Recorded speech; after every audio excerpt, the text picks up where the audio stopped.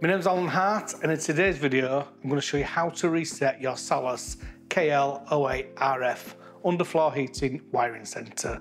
If you've set up your wiring centre in offline mode and you need to transfer to the Salus smart home system then you will need to follow this procedure.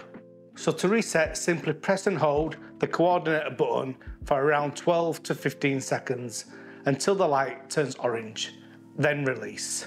The light will go back to red and the wiring centre will reset. The network status light should start flashing green and your stat should be reset. If the network light should fail to flash, then hold the grey pair button until it flashes.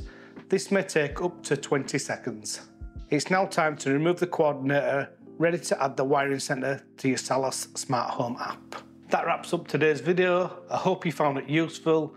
If you would like to know more on how to connect your wiring centre to your smart home network, check out the link in the description below to a previous video that we've done. As always, like, comment, subscribe, all that good stuff, and I'll see you in the next video.